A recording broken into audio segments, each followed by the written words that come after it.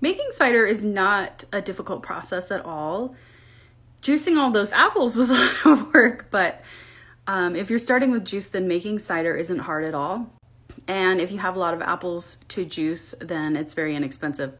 Of course, you do need to have the proper equipment in order to juice all those apples, and renting it costs about the same amount as just starting um, with juice.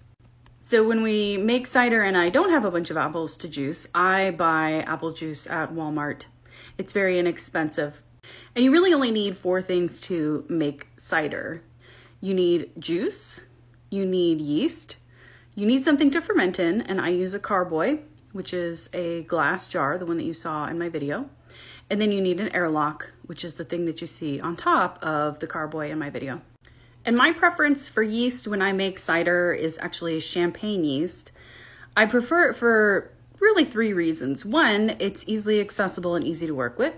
Two, it makes a relatively dry cider if you let it ferment all the way down, and I do prefer ciders that are not super sweet.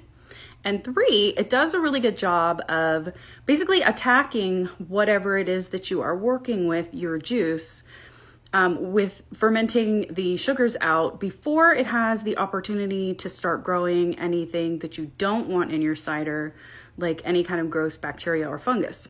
And so that's particularly helpful if you're starting with juice uh, from apples, like I did in that video. I did not pasteurize any of that juice. I just used a um, champagne yeast because it does such a good job of starting the fermentation process before any bacteria can begin to grow.